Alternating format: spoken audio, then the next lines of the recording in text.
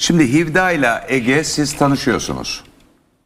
Yani- Yani is, e, ismen zaten biliyordum. Yüz yüze biliyoruz. birkaç kez Evet. karşılaştık ama tanışma fırsatımız olmadı. Peki nasıl oluyor da siz ikiniz de aynı yıl e, doğmuşsunuz ve aynı zamanda ikiniz de Haliç Üniversitesi'nden e, konservatuvardan mezunsunuz. Demin nasıl yani diye soracaktım kaç mezunusun diye. Ben de Haliç tiyatro mezunuyum. 2011 girişliyim. Yok çok 15. fena pandemi çok etkiledi. Ee, şey yok yani hafıza hakikaten insanlar e, büyük çok travmatik bu. O zaman Yani yaşlı aynı yıl doğan ve aynı böyle yani. e, üniversitenin Ama aynı hayır. bölümünden mezun olan iki insan Aynı birbirlerini tanımıyorlar. Hayır dönem şöyle değiliz yani. 2011'de girdim diyor. Ben 2012'de liseden mezun oldum. Ee, Birisi sene- yalan söylüyor. Yok. Ben bir sene uluslararası ilişkiler okudum. Transkriptimi Sonra tekrar sınava girip konservatuvara girdim. Yani ben 2014 girişliyim 18 mezunuyum. Ha okey ben 2014'te yavaş yavaş okulun yolunu bırakmıştım bile. İşte. Çünkü ben öncesinde başka bir şey okudum. Siz ne dediniz? Bir de efendim? 6 sene lise okudum tabii. 2002 girişliyim. Evet. Üzücü. Okulun çok talihsiz bir dönemi bu arada. Evet. Bilmem mi? Peki. eee Saint Joseph'te eğitim görmek için e, İstanbul'a yerleşti ne demek? Küçücük çocuk e, Saint Joseph'e gideyim de eğitim göreyim bari. Filan mı diyor? Nasıl? Böyle bir Türkçe nasıl oluyor? Saint Joseph'te eğitim görmek üzere İstanbul'a yerleşti. Ka- kazanmış. Anne e, hayır yerleşti. Yani, Yerleşti. yani kendisi yapmış gibi bir anlatım var. Kendim yaptım. E, Öf onu demiyorum neyse. okulda mı? E, Yo ama Ev mi tuttu? Yani o- orayı orayı bitirdiniz. Evet. Peki. Orada da 5 yıl boyunca e, Fransızca tiyatro ekibinde yer almışsınız. Yani bir Fransızca kulüp vardı, tiyatro kulübü. Fransızca Orada- oynuyordunuz oyunları. Nasıldı Fransızcanız? Ee, ilk sene çok iyi değildi yani zordu bütün dil, bütün dersler Fransızca falan ama hocamız bence çok iyi bir hocaydı Erdal Hoca. Buradan da selam olsun kendisine. Çok özellikle e, diksiyonumuz, aksanımız için çok uğraşıyordu. Ee, mezun olurken iyi derecede Fransızcam vardı. Yüksek puanladı hani mezun Sonra ne oldu? E, çok kullanmadığımız bir dil olduğu için maalesef Fransızca. Hani anlamamda çok bir sıkıntı olmamakla beraber. Bunu ta- Fransızlara da söyler misiniz? Sizin diliniz pek kullanılmıyor aslında desenize bir. Yani Hiç istemem çok- onlarla ne- bu ne kadar acayip değil mi? zıtlaşmak kendileriyle. Peki sonra e, deli gibi e, filmlerde oynamışsınız. Bunlar diziler ve filmleri beraber mi yazmışlar bilmiyorum. Anadolu Kaplanı. Dok- Anadolu Kaplanı benim ilk işim 9-10 yaşlarındayken. Evet. Çok eski yani Öğretmen Kemal, Yahşi Cazibe, Çalı Kuşu, Güneşin Kızları, Asla Vazgeçmem, e, Kalp Atışı, Yasak Elma, Benim Tatlı Yalanım, e, Kefaret Duy Beni. Böyle bir şey var mı? kefaret başka bir dizi. Duy beni. Duy Beni başka bir dizi. Peki Aykut Enişte, Son Şaka, Obsesyon.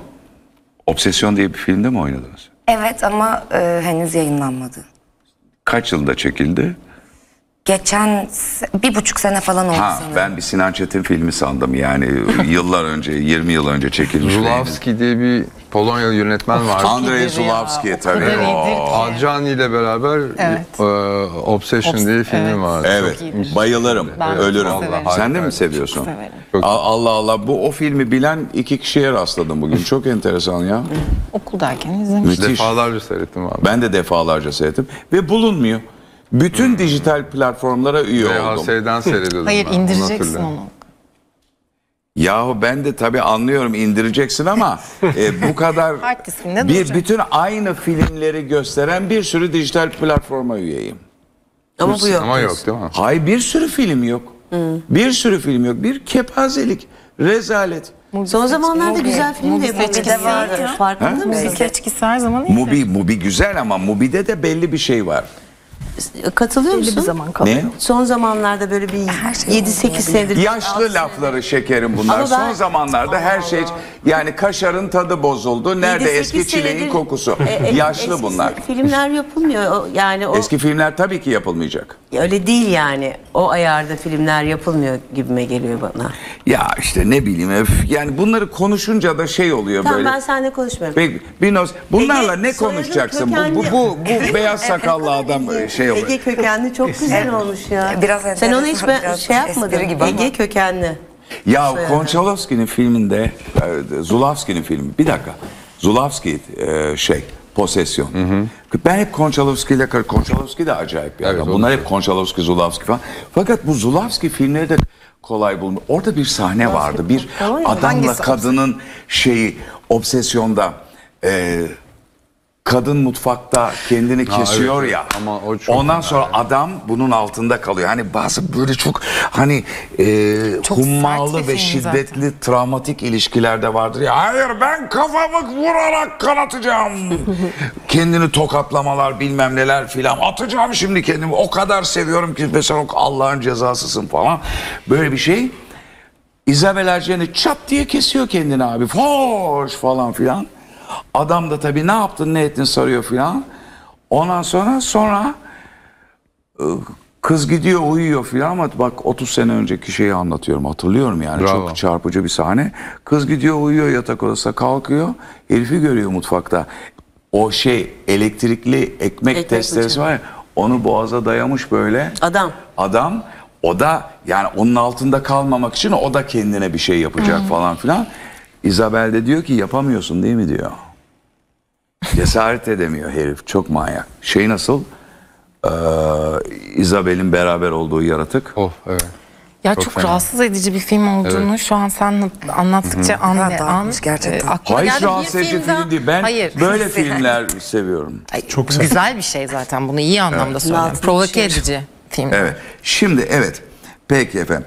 Ee, bunlar oldu. Şimdi Blue TV'de Doğu'da yer alıyorsunuz. İkinci sezon 18 Nisan'da başlıyor. Doğu'nun nesi olarak orada bulunuyorsunuz? Ee, aslında Zeynep karakteri Doğu'nun hakikaten hayatında gerçekten böyle bir karakter varmış. Onun kendi hayat hikayesi.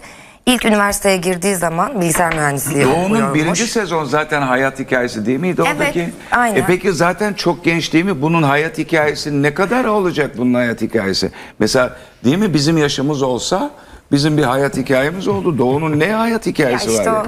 o yeteneksizsiniz e, macerasından bir, bir buçuk yıl öncesi aslında üniversiteden çıkıp komedyen olma Evet çok komik girişi. şeyler vardı orada. E, ben Arkadaşlarıyla ilişkisi bunun bir baltaya sap olamaması falan yani. Ben onun aslında ilk okulda tanıştığı ve kız arkadaşı oldu ama Doğu sürekli ve sürekli 7 sene boyunca kaldığı için onun hocası pozisyonuna gelen bir e, arkadaşını oynuyorum aslında. Sonra onun hocası oluyorsun. Evet. İlk birinci sezonun birinci bölümünde zaten benim dersime geç kalmasıyla başlıyor hikaye.